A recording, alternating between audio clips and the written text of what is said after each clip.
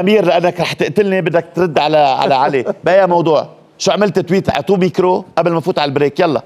اللي وظفوهم من سنتين بيشيلوهم آه والله عم لازم بيكذب يشيلون والله عم تساعدنا خبير تفضل. أستاذ علي أول شيء الجيش بيكون قوي. لما ما نهرب الدواعش يلي قتلوا الجيش ببواسط مكيفة. هيدي واحد.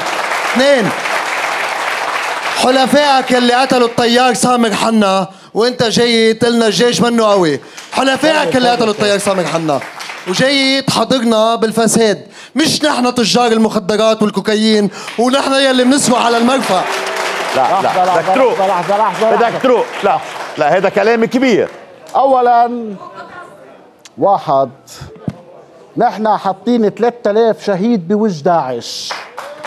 آخر شيء جيب لي جيب لي نقطة دم من فريقك السياسي موجودة بوجه حاططها بوجه داعش تعال احكيلي واحد مين فريقك السياسي؟ داعش انت مع مين؟ داعش عساكر عساكر أول مرة. بتجي لحظة، لحظة. ما تطلع من البرنامج داعش. روق داعش لما بعتت سيارات مفخخة بعتتها على الضاحية الجنوبية وعلى بعلبك وعلى الهرمل وعلى النبي عثمان ثلاثة هيدا هلا هيدا نقاش ما بيتناقش هيك ببساطة. تفضل تفضل أستاذ علي. بعلبك الهرمل فيها من الشرف والكرامة والعزة ما يكفي من الهرمل لبريتين لبعلبك للبوي لكل ضيعة.